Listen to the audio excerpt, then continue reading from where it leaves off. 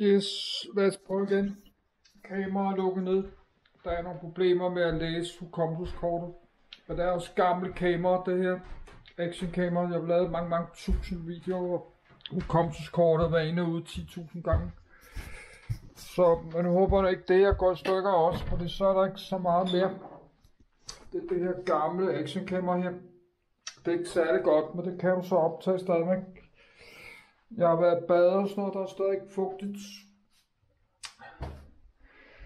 Og øh, jeg vil lige bare på de der Wikipedia, Wikipedia dokumenter, jeg lige kiggede rettet på det, hvor vi kopiere. kopieret. Så kom der et boligtilbud med genhusning, og ved at downloade, så crashede min computer. Og jeg skal til at genstarte nu, og så jeg skal også til at lege med mit lange godstog. Så men lige nu, øh, mens jeg lige, jeg lige øh, har det der friske, gode luksustoast, så må lige lave sådan to med ost. Skal vi gøre det? Jeg selvfølgelig noget ikke at se, hvad var for et boligtilbud. Men altså indtil videre har det været sådan noget lidt forkert for, så det sendte boligtilbud på en treværelseslejlighed, der er alt for dyr i stueetagen. Og så sagde de tilbud om en øh, toværelseslejlighed på første sal. Og det bedte der, at helst skal kun være op på anden sal. Så var der også en masse der var forbedringer af legemål, og plus kom 1200 kroner oveni til nyt køkken, så jeg kunne nærmest husleje kunne være, være på 8.000 om måneden, hvis de putter nyt køkken i. Det tør jeg ikke gøre nu, fordi jeg har jo stadig de der 7.000, 7.500, jeg skal betale til min online lån og Kasper så jeg har ikke råd til både husleje eller flere tusind kroner mere hver måned. Så det er også derfor, at jeg skal spare nogle penge op, hvis jeg skal flytte og sådan noget, fordi jeg er nødt til at have nogle ekstra penge til de første måneds husleje eller to.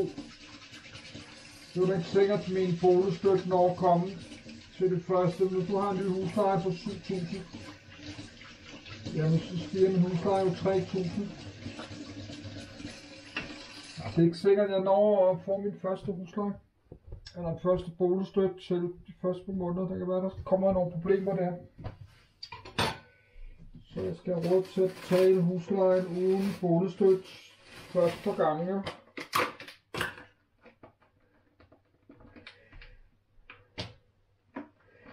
Og så jeg har også siddet kloget her. Jeg kan ikke lige overskue at flytte lige nu, fordi jeg sidder hele vinteren og kloget her. Så det kan også være at lade mig øh, tvungen øh, gen, lade mig genhuse 10 måneder eller andet sted. Og så kommer jeg så bare tilbage hertil, eller til en anden lejlighed her, hvor jeg bor.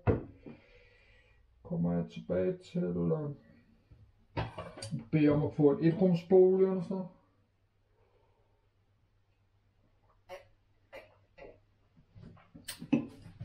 Altså vil bede om at få en mindre etrumsbolig.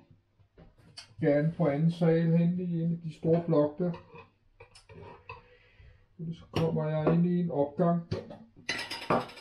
Og der er også større kælderrum i de andre blokke. Jeg tror, det er sådan nogle endnu større kælderrum. Kælderrum er i forvejen kæmpe stort.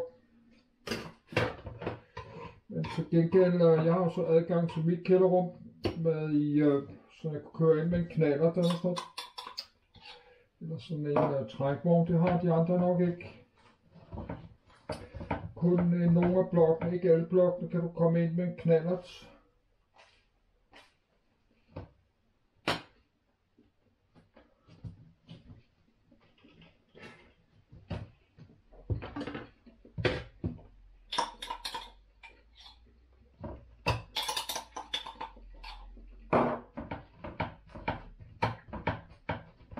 Det kan man så den store blok ved siden af mig, hvor der er vaskeri under.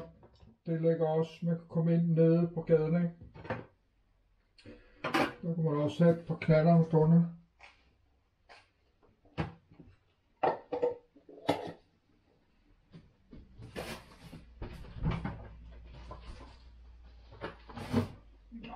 Nej, nu er det en scooter. Sådan en scooter 30, knaller 30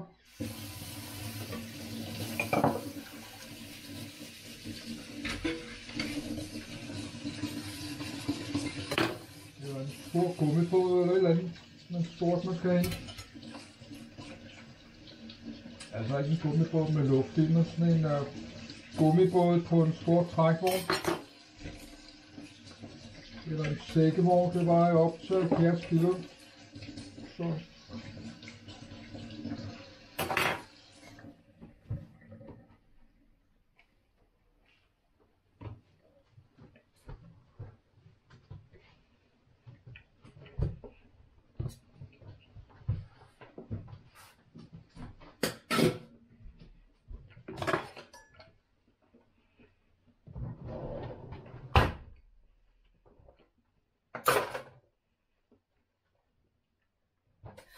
godt tænke mig en øh, uh, gummibåd, der er sådan lidt ekstra stor og bred.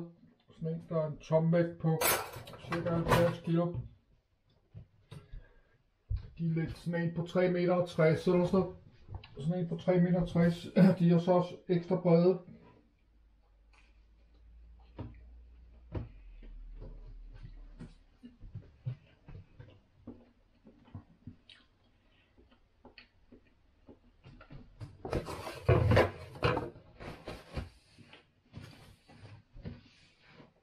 Altså helt op 4 meter lang, så bliver de 2 meter brede i stedet for 1,5 meter brede.